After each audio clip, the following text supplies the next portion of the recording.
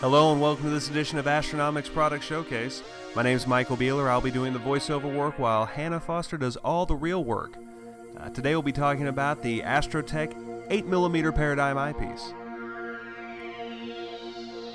The Paradigm eyepiece has a 60 degree field of view, 13 millimeters of eye relief, and weighs in at 6.4 ounces has a rubberized body to help with any sort of dents and dings, and a rather large eye lens, unlike some of the older Plössls you'll find with a pinhole. You're not having to really search for that here.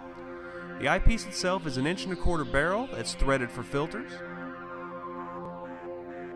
And it does come with dust caps on both ends to help keep your eyepiece nice and clean when it's not in your telescope. The reviews have been great. We think if you give the eyepiece a chance and put it in your case, you'll be just as thrilled with it as we are. So thank you very much for your time. Have a good day.